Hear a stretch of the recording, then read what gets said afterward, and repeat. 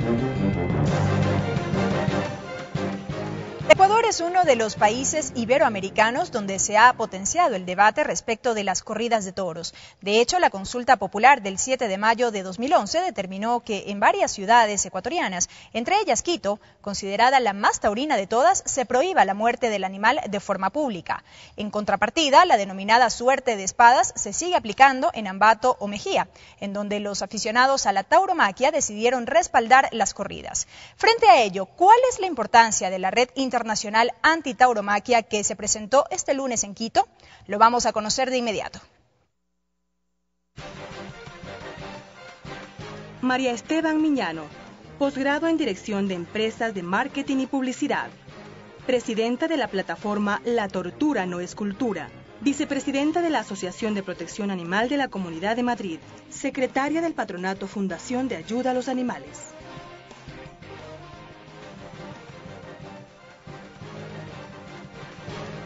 Marius Kolf, historiador y máster en artes, director del Comité Antitauromaquia Internacional, fundador y vocero de la Red Internacional de Antitauromaquia. Marta, qué gusto que nos acompañe. De igual manera, pues, a Marius, bienvenidos. Qué gusto que estén aquí en nuestro país y particularmente en la Asamblea Nacional. Muchas gracias por invitarnos. Bueno, eh, nosotros, y quiero comenzar con usted, Marta, este diálogo, porque en la introducción dábamos cuenta que en el Ecuador este no es un debate nuevo. De hecho, data del 7 de mayo del año 2011, cuando hubo una consulta popular, ustedes deben tener conocimiento de aquello, en donde hubo un pronunciamiento de carácter local, cada municipalidad, cada, cada ciudad se pronunció a favor o en contra del maltrato de los animales en los espectáculos públicos. Así más o menos decía la pregunta, pero automáticamente esta fue asociada con las corridas de toros. Y claro, Quito, esta ciudad, la capital ecuatoriana, históricamente ha sido considerada la ciudad más taurina del Ecuador, pero, oh sorpresa, el pueblo quiteño mayoritariamente se pronunció en contra de la muerte del animal en los espectáculos públicos. ¿Cómo catalogan ustedes, y empiezo con usted, Marta, esta decisión del pueblo quiteño? Y obviamente, eh, Marius, ¿esto cómo se eh, o cómo ayuda a potenciar el debate a nivel internacional sobre la necesidad de ir erradicando la práctica taurina? Por favor, Marta. Nosotros hemos eh, presentado aquí la Red Internacional Antitauromaquia en Ecuador no de manera casual. Nosotros la hemos eh, presentarla aquí por el hecho de que Ecuador es un ejemplo para el mundo en la relación entre el hombre y la naturaleza. la Constitución del 2008 sentó un precedente que queremos llevar al resto del mundo, que es el precedente de que, la naturaleza también sea un sujeto de, de, derecho y también el hecho de la participación ciudadana, de que sea el ciudadano el que pueda intervenir en el gobierno. Eso es un mensaje que tenemos que llevar al resto del mundo. Y, eso sucede porque la ciudadanía quiteña, al igual que en cualquier de los países taurinos, cuando se realiza una encuesta, es abrumadora la mayoría de gente que se, que se, que se expresa en contra de, esta práctica. Entonces nosotros eh, hemos venido aquí porque queremos uh, pedir al pueblo ecuatoriano que ya ha empezado con esa consulta, que ya ha empezado con esa constitución modelo, queremos pedirles que ahora deje de estar en el papel y que pase a la acción y pensamos que es incompatible el hecho del buen vivir y del amor a la vida con la tortura de un animal en un espectáculo público. Es que no se entiende. Entonces, si eso se terminara de, de, que va a suceder seguro y realmente ese concepto de buen vivir pasa a ser algo efectivo, no solamente en el papel, las 100 organizaciones que, que, que somos parte de la red queremos llevar ese mensaje a todo el mundo para que lo que expresó el pueblo ecuatoriano en esa constitución se extienda por el resto del mundo. Marius, recogiendo las palabras de Marta, abrumador este pronunciamiento eh, de las personas sobre este tema, pese a que ha sido una práctica histórica. ¿Cómo han visto ustedes eh, eh, a lo largo de los años el debate en este sentido? Pues um, sí, claro que es una un práctica eh, cultural histórica, uh -huh. pero de veras es algo de, de la historia porque ya sabemos tanto del sufrimiento del animal, de animales en general. Eh, antes hemos siempre pensado que el animal no sufre, que es un alegre para este animal de, de estar en, en, la arena, de, ser, de, de, hacer este juego y muere como un honor, pero ahora ya sabemos tanto más. Y yo pienso que esto, en este país, Ecuador, donde hay tanto, fan, tantas fantásticas cosas ecológicas, hay la selva, hay las montañas, que, y turistas vienen por aquí para el ecoturismo, y los turistas vienen por aquí, es un, para eso es una gran sorpresa que todavía aquí hay corridas de toros, porque eso no va juntos. Hay como una contradicción. ¿eh? Es contradicción, sí. Pero, ¿y en Europa cómo se está desarrollando este debate? Eh, no solamente en España, y ya voy a abordar el caso de España porque probablemente es emblemático, pero en, otras, en otros países europeos, ¿cómo se está desarrollando este debate, este debate para erradicar la práctica taurina? Sí, puedo empezar con la Unión Europea, que no son todos los países, claro. pero dentro son 28 países, me parece, de la Unión Europea. 28 países, sí. Y, y, dentro de la Unión Europea es permitido de, de, en algunos países, es decir, España, Portugal y Francia, en solo 80 municipalidades, de tener corridas de toros, que no es, es posible, pero en casi todos los otros países es prohibido. En, en, algunos países no es prohibido, pero no se lo hacen, por, por, eso no hay leyes, porque en otros países piensan que esto no puede existir.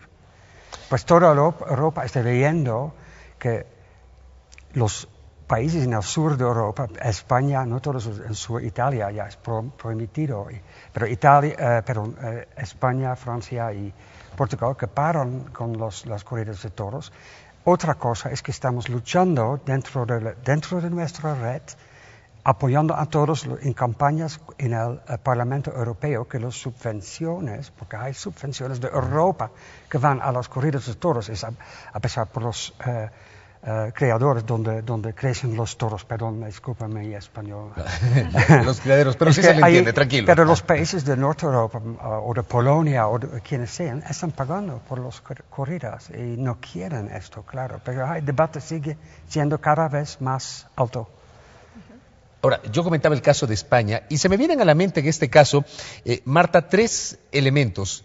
Madrid, en donde sí hay corridas de toros, la Plaza de las Ventas, por ejemplo, que es conocida a nivel mundial, Barcelona, en donde la comunidad internacional pues conoce que hay una prohibición por pronunciamiento de carácter popular, incluso con el apoyo del pueblo catalán, de no desarrollar corridas de toros.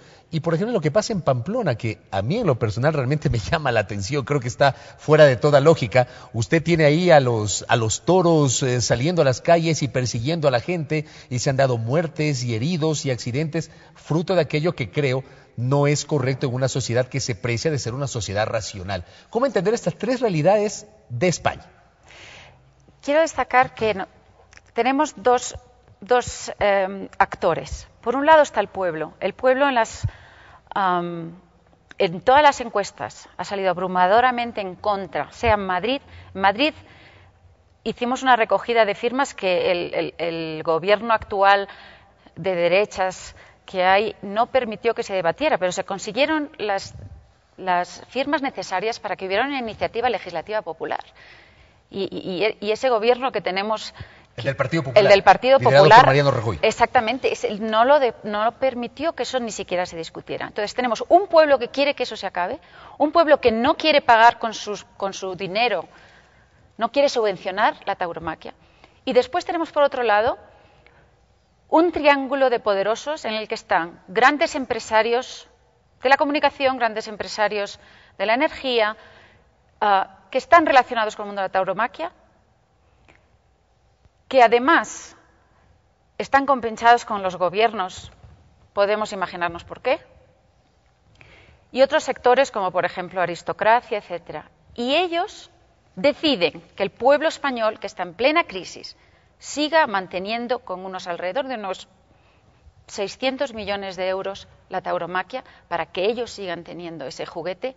No sabemos muy bien para qué. El tema es económico entonces. No, el tema es de una élite una élite que obliga al pueblo español a seguir con las corridas de toros y a pagar las corridas de toros. Y yo la pregunta que quiero hacer aquí es, ¿por qué esa élite se empeña en mantener las corridas de toros cuando la sociedad ha expresado en todas las encuestas que no la quiere? Yo dejo esa pregunta ahí. Correcto. Marius, en 30 segundos brevemente porque se nos acaba el tiempo. Esta red internacional eh, antitauromaquia creada recientemente y cuyo lanzamiento oficial se produjo durante esta jornada, eh, ¿qué propuestas trae a las sociedades? ¿Cuáles son las propuestas centrales a fin de cumplir su cometido? claro, eh, lo que yo puedo decir es que los cientos de organizaciones quieren justicia para todos, eh, todos seres humanos, pero también animales, por todos seres vivos. Esto es lo que quiero decir. Eso es número uno. Después, claro, hay la tauromaquia que estamos luchando, pero todo esto forma parte de una lucha para derechos universales para todos los que están viviendo. Listo, muchísimas gracias por acompañarnos en este espacio informativo. Han sido Marius Kolf y Marta Esteban Miñaro, con quien hemos dialogado en torno a la red internacional anti-tauromaquia, cuyo lanzamiento oficial se produjo durante esta jornada aquí en la sede legislativa. Tiempo de una pausa, enseguida volvemos con más.